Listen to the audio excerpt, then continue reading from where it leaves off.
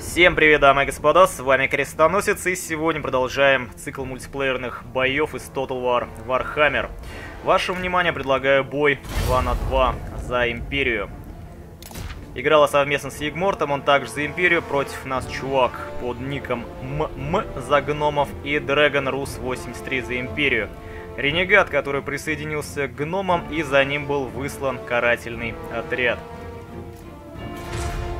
Посмотрите на наши составы. Это Дими Грифы и у меня, и у Егморт. Абсолютно одинаковый сетап. Ну, я не знаю, наши противники ожидали такое увидеть или нет, но гном набрал очень разношерстную пехоту здесь и специалисты по борьбе с чудовищами, и полно огнестрела, и антипехотные подразделения. Карта Галбарас. Егморт сразу начинает атаку. Надо было как можно меньше давать нашим противникам времени на раскачку и решаем, что он пойдет через гору, пригорок, а я ударяю с центра. Или, по крайней мере, делаю вид, что ударяю с центра. Шанс у нас процент 45 на победу, 398 у нас, подразделение у них 1089 и полно еще к тому же арты, который, видите, очень неприятно начинает по нам долбить. Бой шел 13 с половиной минут, грубо говоря. Довольно долго для мультиплеера, но и сражение получилось мега эпичным и упорным. Для боя на Диме Грифах шикарное сражение. Здесь я разворачиваюсь, потому что вижу, что долгобородые молотобойцы стоят вот здесь вот у гнома на переднем фланге. И они запросто могли вместе с артой перерубить моих демигрифов, встретив их в лоб, поэтому смещаемся на гору ударяем им с фланга. Арта очень неприятно долбила, плюс стрелки, и Игморт сразу же начинает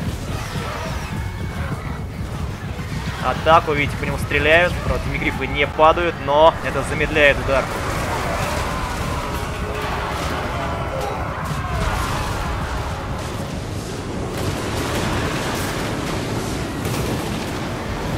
Пошли.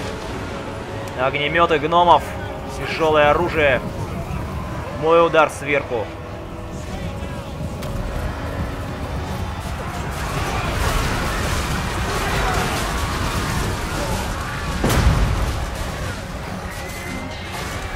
Прием, кстати, мы в тяжелых мечниках. Они практически бессильны против демигрифов. У них нет оружия, способного их остановить, но есть арта сзади, который помогает. Видите, стреляет паровой танк у имперца. И каждый выстрел это несколько трупов имигрифов. Карл Франц на своем грифоне. Демигриф, кстати, переводится как полугриф. У него нет крыльев.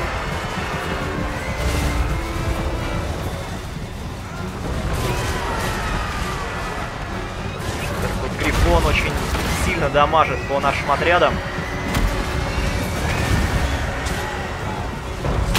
Сваливается командир Егморта. Мы не взяли Карл Францев, но взяли рыцарей на грифонах командирами. Это дешевле, и получается, что мы практически в ноль выходим по отрядам Демигриф. Экспериментировали разные составы до боя.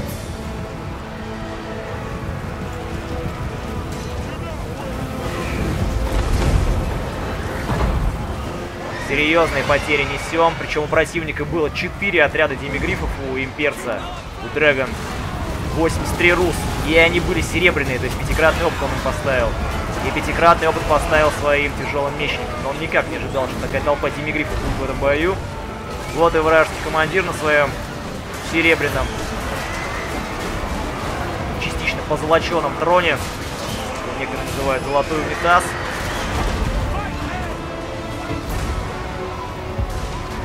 Наши командиры здесь атакуют их арту. Правда, Карл Франц пытается прикрыть вражеский.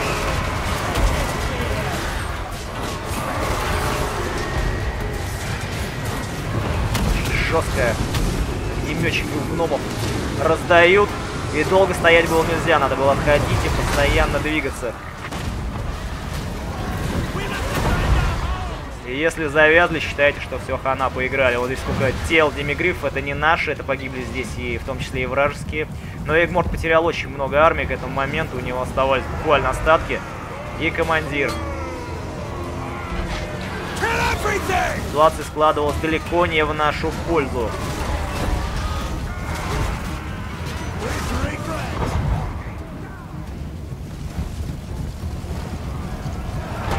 Удар, это уже мои скачут.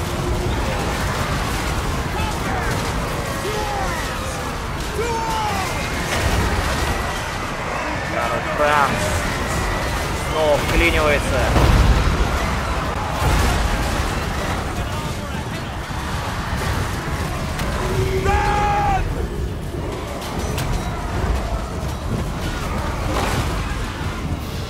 Он очень опасен, с ним долго стоять нельзя в окружении. Конечно, здесь надо было командир на командир нападать, но у меня был сильно покоцан.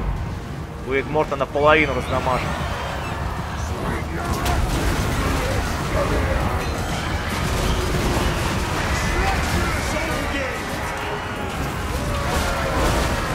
Падают, видите, Димигриф за Димигрифом, и нас все меньше и меньше. Довольно организованно они играли. Но новый удар опрокидывает гномов.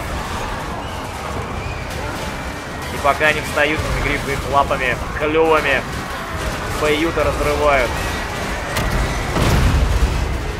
Ну и долбанный паровой танк продолжает с другого конца карты, видите, настреливать стоит и стреляет.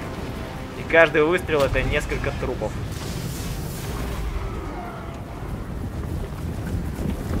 Отходим. Командир у меня к этому моменту, по-моему, героически уже погиб, сражаясь с вражеским Карл Францем. Но он там с одной обилки достал. Четверть хп у меня оставалось. И сзади накинувшись, предательским образом снимает моего Грифона. Но жив еще командиру Игморта. Вот, раздамаженный наполовину.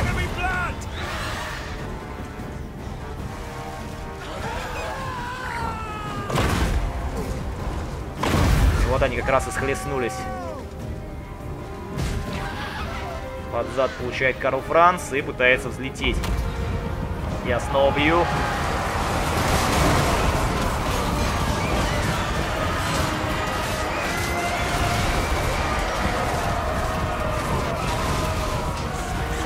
И тут же отхожу, потому что вязнуть в рядах гномов, видите, к чему приводит. Погибает сразу Димгриф, который там застрял.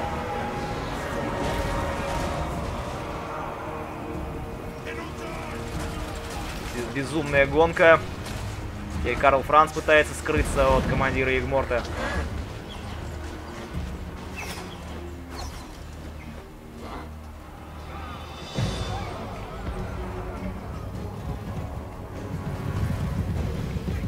Я разворачиваюсь и... Пою. 50 на 50 шанс. Он думал сначала, что я буду бить по его тяжелой пехоте, но потом я разворачиваюсь на стрелков, и он вынужден меня уже догонять. Прокатываю дальше и набегаю на тяжелых мечников, которые остались без защиты у имперца. Ну и с тыла мочу. Игмор тем временем убивает, по-моему, Карл Франца вражеского. Это его командир остался единственный из летающих.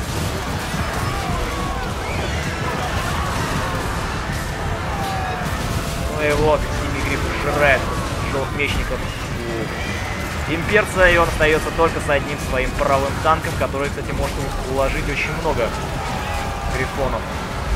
Вот так припадая просто в ближнем бою. Ну и вижу я, что гном сзади набегает, поэтому вынужден наступать, просто пробегая дальше.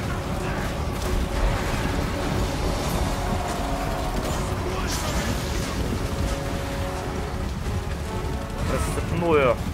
Разбегаемся. Сложнее было фокуситься на чем-то на чем-то конкретном.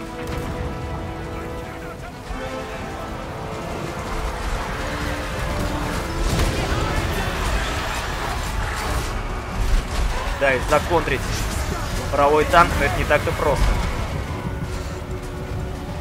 Ну и плюс гном на своем золотом троне, который убежал.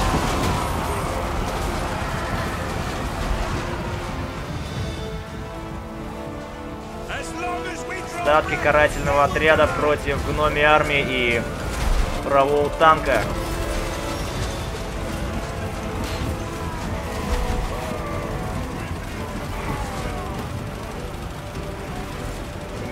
гнома затоптал, правда он поднимается. Не на скорость ударил. Нила здесь допускает Дрэгон ошибку. Он оторвался от гнома, думал, что все, мы отступаем, бежим. Просто перегруппировывались и решил нас добить в одиночку. На одном паровом танке. А в принципе это было и нужно, чтобы гном его не прикрыл в этот момент. Специально его оттягиваем. Ну я говорю Игморт, чтобы он проотковал своим грифоном, а я ударил этими грифами его э, с боков. Надо было зажать его, и можно было, в принципе, разобрать. Вот он как раз приземляется, начинает его грызть задница, он как раз там э, уязвимый всего, и бьем со всех сторон. Смотря на потери, надо было с этим танком разбираться, он был самым опасным противник оставшихся.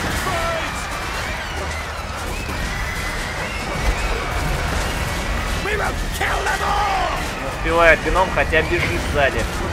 Но здесь виноват Имперец, что он его бросил и сам понесся за славой вперед.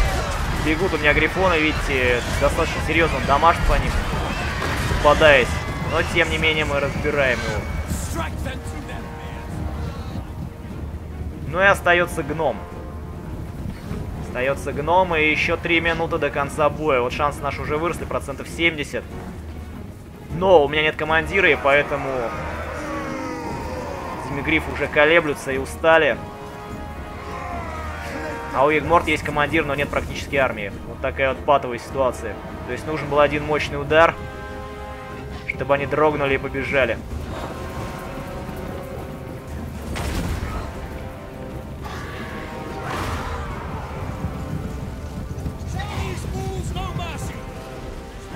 Ну и здесь выстраиваемся. Надо было отдохнуть. Гном тоже не шел вперед, он встал в оборонительную позицию и решил подождать. Орочи тотемы.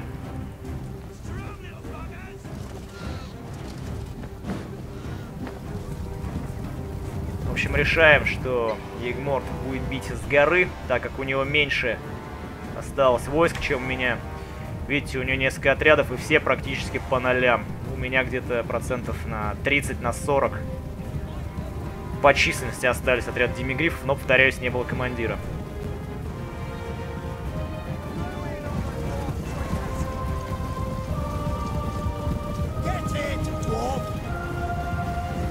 Тяжелый был бой. Я даже не знаю, кого он был более тяжелый, из-за имперца или из-за гнома. Мне кажется, все-таки больше из-за имперца. Во-первых, его демигрифы серебряные. Очень много побили. Во-вторых, паровой танк очень многих положил. Ну, по результатам боя посмотрим. По-моему, гном не так много и убил. Ну вот он встал. Защитную позицию, как он считает, у него остались его ящеры с огнеметами. Остались тяжелые пехотинцы, молотобойцы. Ну и, конечно же, командир. Такое ощущение, что гномы стоят со щитами. Это колеса, вы знаете, у этого трона. Ждем, отдыхаем. Повторяюсь, нужен был один удар. Победа или поражение. Победа или смерть.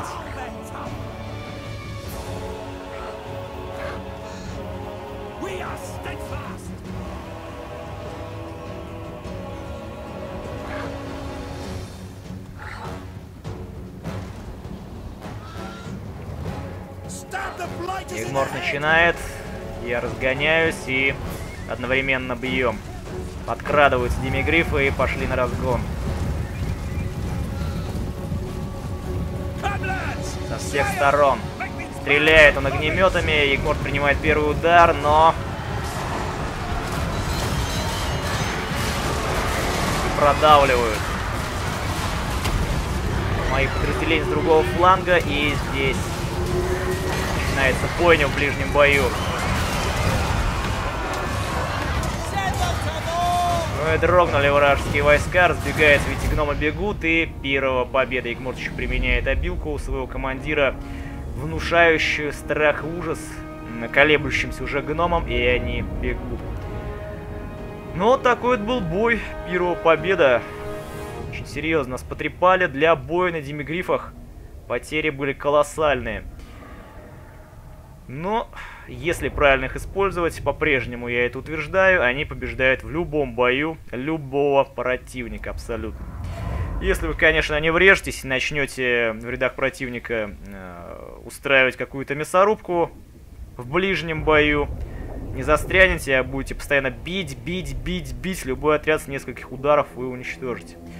Это подразделение мобильное, надо двигаться, надо принимать правильное решение и бить в нужные места. И вот результаты на ваших экранах абсолютно одинаковые. У нас были с Сигмортом армии. А, вот мои тут демигрифы сколько набили, сами смотрите. Некоторые отряды очень хорошо, некоторые не очень хорошо. У гнома вообще тут все практически по нолям. О чем я и говорил, вот кроме нескольких отрядов молотобойцев.